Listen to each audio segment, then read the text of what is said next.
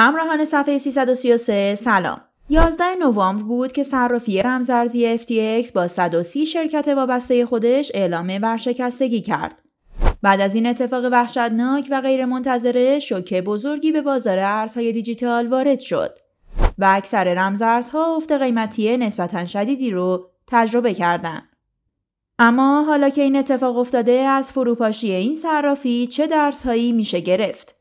ویتالیک بوترین خالق اتریوم به این سوال جواب میده. پیشنهاد می‌کنیم امروز هم همراهمون باشین چون قراره توی این ویدیو این نکات رو مرور کنیم.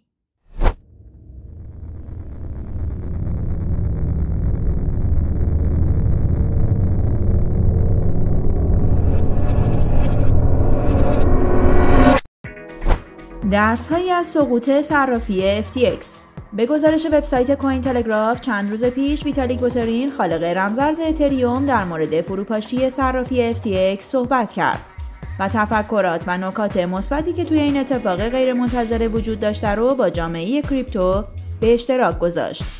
بوترین طی یک مصاحبه با بلومبرگ گفت که توی قضیه سقوط صرافی FTX درس هایی وجود داره که برای کل اکوسیستم کریپتو ارزشمنده.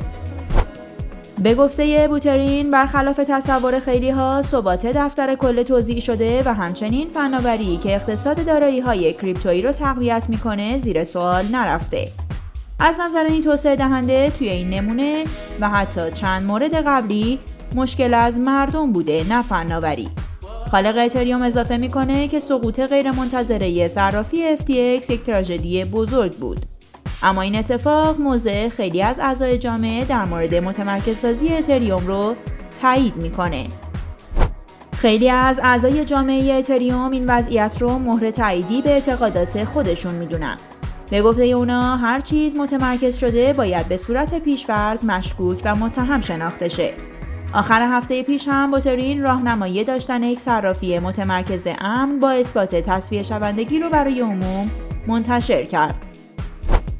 از نظر این توسعه دهنده بزرگ بهتره که صرافی ها به جای وابسته بودن به روش های فیات مثل مجوزهای دولتی، بازبینی ها، بررسی گذشته شرکت ها و افراد حاضر توی اون شرکت گواهی های رمزنگاری شده ای درست کنن که نشون بده سرمایه هولد شده توسط اونا می‌تونه پوشش دهنده بدهی هاشون به کاربران باشه. با توجه به بررسی های انجام شده به نظر میاد که مشکل صرافی FTX به استفاده این صرافی از واریزی های کاربران برای اهدافی خاص برمیگرده. بعد از اون که اوایل این ماه درخواست برداشت زیادی توی این پلتفرم ثبت شد، FTX فهمید که توانایی لازم برای جواب دادن به این حجم از درخواست برداشت رو نداره. گفتنیه که به جز ویتالیک بوترین افراد معروف دیگه ای هم در مورد سقوط FTX صحبت کردند.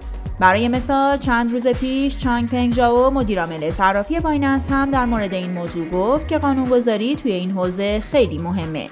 اما از اون مهمتر درس گرفتن از چنین اتفاقیه. به گفته ژائو فاجعه FTX می‌تونه صنعت ارزهای دیجیتال رو چند سال به عقب برگردونه و باعث ورود سختگیرانه قانونگذاران به این حوزه بشه. قبل از ادامه بحث ازتون می‌خوایم که به channel مون subscribe و زنگوله رو هم روشن کنین تا از آپلود ویدیوهای بعدیمون با خبر شین.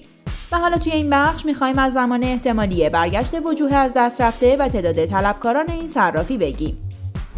کاربران متضرر کی می‌تونن وجوه خودشون رو پس بگیرن؟ همونطور که گفتیم صرافی FTX به همراه 130 شرکت وابسته خودش توی تاریخ 11 نوامبر اعلام ورشکستگی کرد. سرمایه گذاران متضرر اما پاپس نکشیدن و دنبال گرفتن حق و حقوقشون هستند.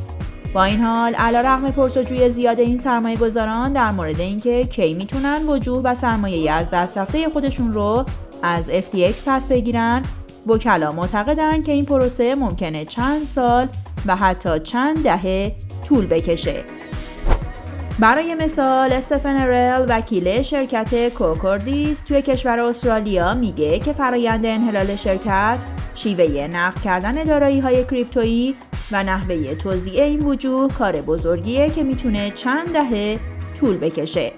به گفته این وکیل دلیل این موضوع پیچیدگی های مربوط به رمزارزها و مسائل ورشکستگی فرامرزی هستند.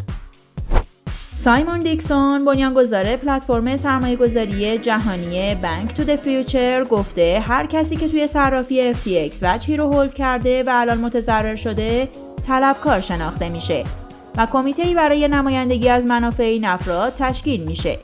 به گفته دیکسون دارایی های باقی مونده بسته به هزینه های ورشکستگی نهایتا بین طلبکاران توضیح میشه. فروپاشی صرافی FTX عواقب زیادی برای سرمایه گذاران کل دنیا داشته. بر اساس گزارش ها FTX ممکنه بیشتر از یک میلیون طلبکار داشته باشه. علاوه بر اون به گزارش رویترز این صرافی به 50 طلبکار بزرگ خودش چیزی حدود 3 میلیارد دلار بدهکاره. امیدواریم که تماشای این ویدیو برای شما جالب و مفید بوده باشه و اگر اینطور بوده برای حمایت از ما این ویدیو رو لایک و حتما اون رو به دوستان علاقمندتون هم معرفی کنید. و حالا بگین نظر شما در مورد سقوط این صرافی چیه و چه درس های دیگه میشه از این اتفاق گرفت. لطفا نظراتتون رو توی قسمت کامنت ها برامون بنویسین. تا ویدیوی بعدی خدا نگهدار.